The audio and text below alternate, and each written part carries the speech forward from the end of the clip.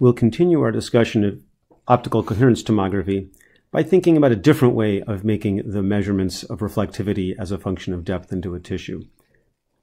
From the previous tutorial, we saw that the detector signal, if you have a path length difference for a single reflector of tau between a reference mirror and the location where the reflector is, that signal uh, goes as the reflectivity of the scatterer and also goes as this function of cosine, where you've got the optical frequency nu and the time delay of the flight of the light to the reference mirror versus to the reflector in the tissue. So that dependence is something we're now going to play with a little bit. If we look at what tau equals, tau is the extra amount of time it takes if there was a particular reflecting surface, I'm marking it here in the tissue. If light was to travel to that location and back again, that's the extra time of the time delay here. And that distance x that we travel there from x equals 0 to the tissue reflector and back again, the total time delay is going to be the distance 2x divided by the speed of light in the tissue. We've been calling that c sub n this semester for the refractive index n. And not only can we think of tau that way, in new variables, we can think about the optical frequency nu. That's equal to the speed of light divided by the wavelength of light in air.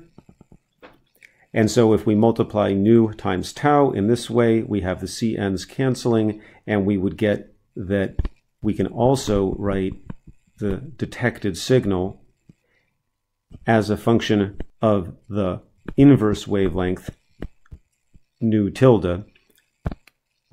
I'll say that this can be written as Cn times nu tilde. That's just equal to 1 over the wavelength. That turns out to be useful for the way we're going to write this math. So the detected signal as a function of wavelength, specifically as a function of the inverse of the wavelength, as cosine of the extra factor of 2 gives us a 4 pi instead of the 2 pi we saw up there. 4 pi nu tilde, which is 1 over the wavelength, times x, the distance into the tissue.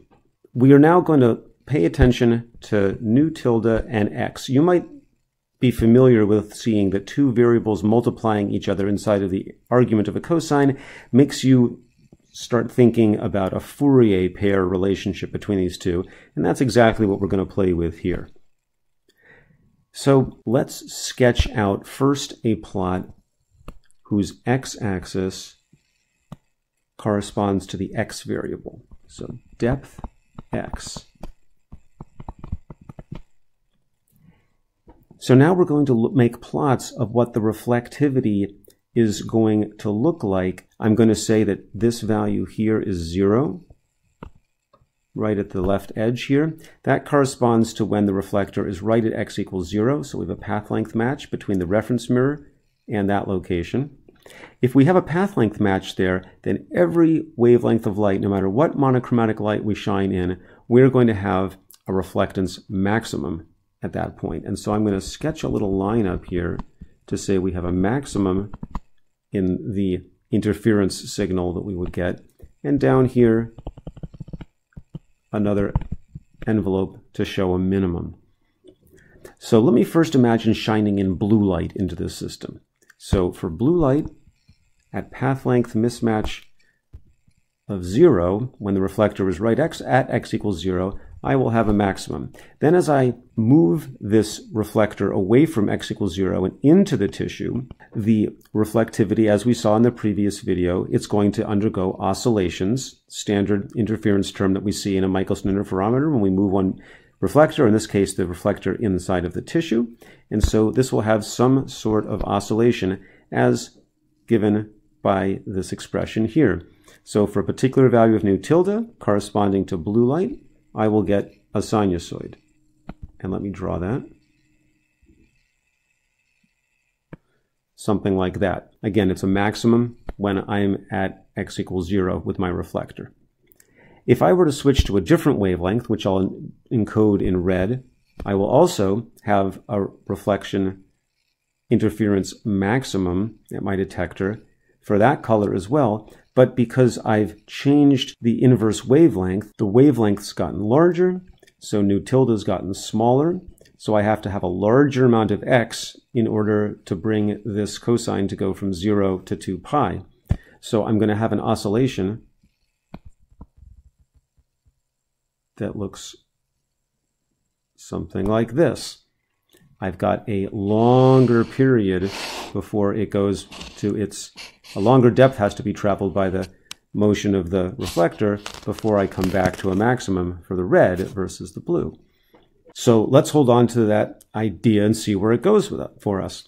Suppose I now make a different sort of plot where instead I'm going to make a plot versus wavelength. So let me first set up the axes for a plot like this. So I'm going to make a plot versus nu tilde, the inverse wavelength. And what I'm going to ask is, suppose now, since I'm varying nu tilde along my axis, it must be x that I'm holding fixed. So let's first think about a particular depth, and I'm going to cut through this graph here in a place very close to x equals 0. And I'm going to call that cut through A. Okay, so again, we were talking about a reflector that is close to the surface of the tissue, nearly at x equals 0. Well, you'll notice that if I cut through this, I can now make notations on my graph here for the red wavelength and the, and the blue wavelength. So since the red wavelength is larger, that means the red inverse wavelength will be smaller. So let me write nu red over here, and I'll write nu blue over here. Those both have tildes. And you can see that at cut through A, both the red and the blue are very near their maximum. If I draw these same max and min guides.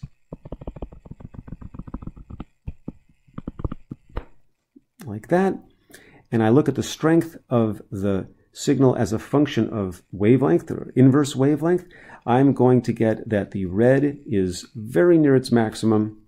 I'm going to draw it high up here. And the blue is almost as close to its maximum basically the same value, just maybe a tiny bit less. So if I now plot for a reflector at depth A, very close to the surface, how the signal would vary as a function of wavelength, which wavelengths are near their maximum of interference and which are near their minimum, they're all pretty close to their maximum. So I would connect them something like this. It's a small portion of a very long sine wave. Here's the sinusoidal dependence. I'm holding x fixed. So I'm going to have a cosine dependence versus nu tilde, and it will look something like this. It's a very slow varying function. These two wavelengths far apart have almost the same value. Stay with me here. If I now make a cut through at a different location here, B, I'm going to choose a place where the blue wavelength is actually at a, a zero value it's neither at a, it's halfway between a maximum and a minimum. So at that second location, I'm going to have the blue value down here. The red value is about at half. It's about halfway between maximum and zero. So it's about here. If I now try to connect these points with a sinusoid, it's going to look like it something like this. It's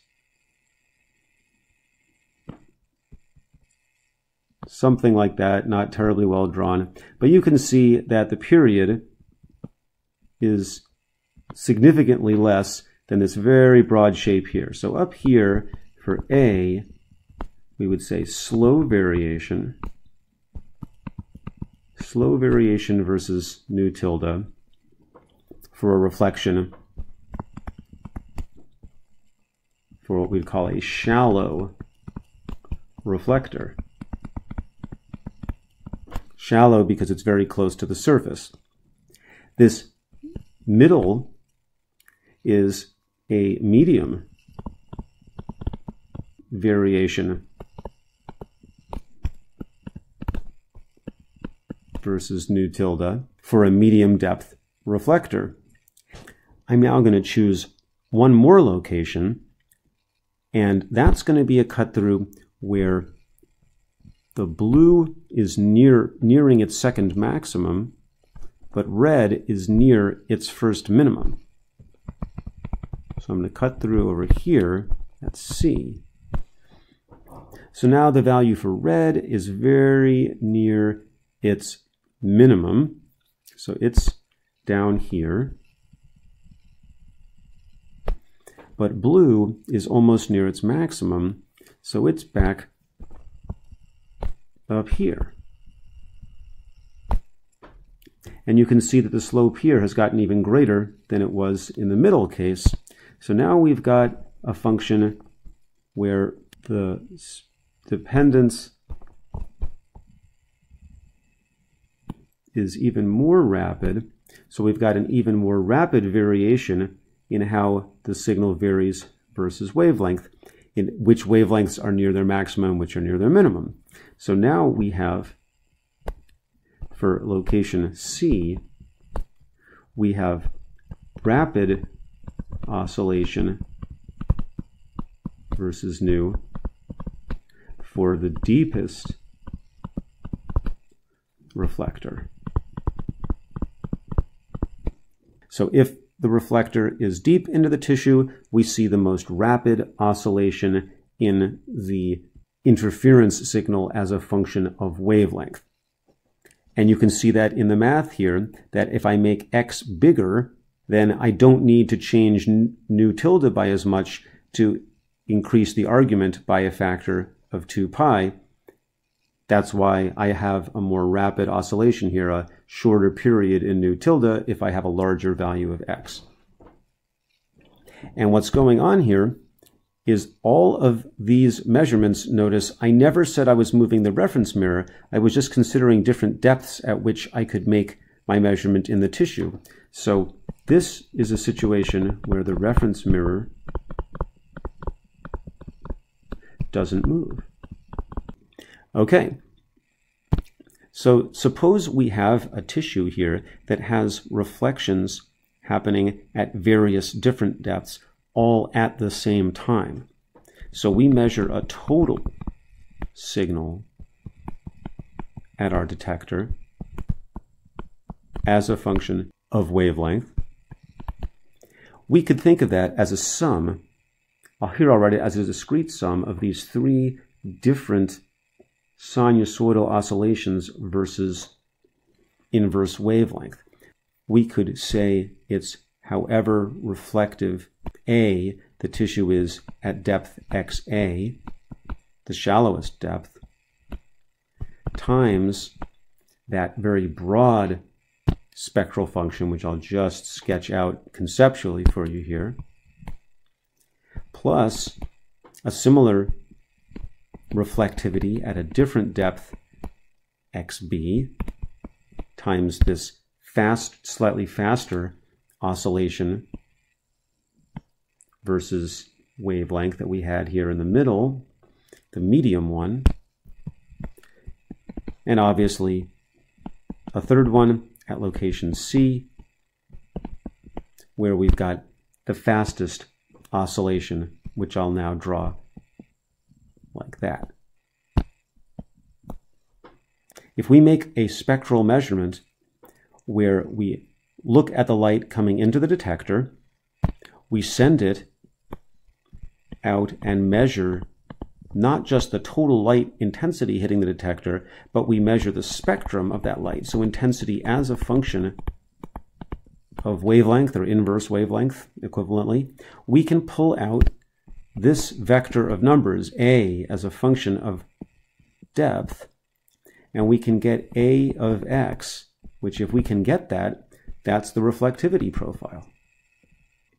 And there is a mathematical way, of course, of getting that. You obtain this uh, by a Fourier transform of this measurement of intensity as a function of inverse wavelength, that gives you a reflectivity versus depth x. As I said before, the inverse wavelength and the length scale x, the depth, that's a Fourier pair. So if you Fourier transform the measurements that you make as a function of inverse wavelength, you can decompose them and figure out how much of each of these frequencies are present in the spectrum that you measure. And that spectrum will have slow oscillations versus wavelength and medium and fast oscillations. You can then pull out by Fourier transformation what the amplitude is of each one of those oscillations. Those amplitudes are the reflectivity of the tissue at those depths. This is really cool. So the key advantage, in addition to what you can already appreciate that you didn't have to move the reference mirror, you can just sit at, at a stationary mirror position and measure spectra. It's all done in one shot. All of the light that you're detecting contains information.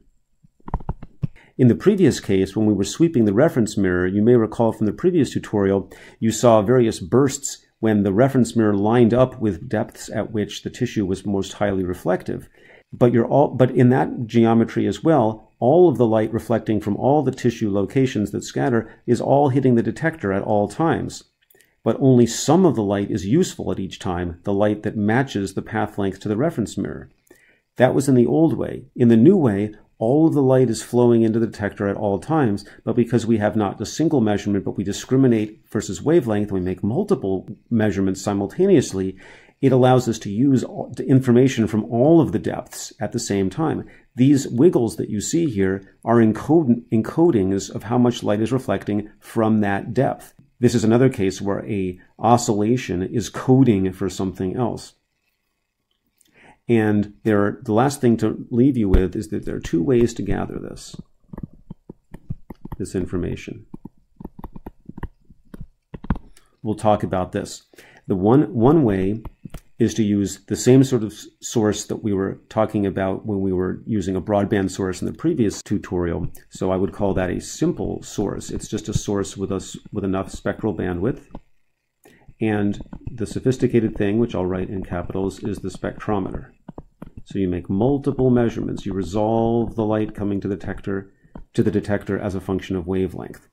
The second option is to have the source be a smart source. It has a single intense wavelength at a time, and that's called a swept source. So you only have one wavelength coming out at a time, but you pour all of your energy into that one source, and versus time, you know what wavelength is coming out. In that case, you can use a simple detector. So you just use a single simple detector, detect all of the power added because you know what wavelength is coming when.